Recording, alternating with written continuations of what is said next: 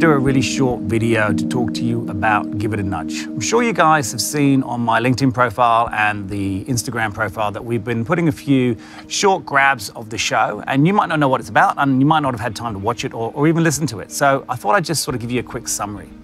Here at the Nudge Group, as I'm sure most of you know, we recruit for startups and we recruit for companies who are VC backed or private equity backed or really just going through accelerated growth.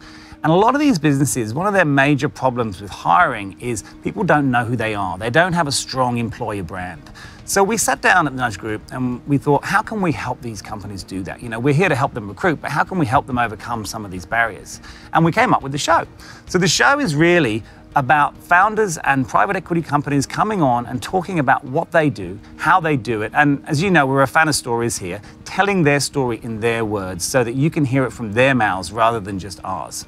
It's an opportunity for them to sort of get their hearts and souls out and tell you what they've achieved, but also tell you what they haven't achieved and what went wrong. And it's an opportunity for you to sort of get a real inside look into the startup culture.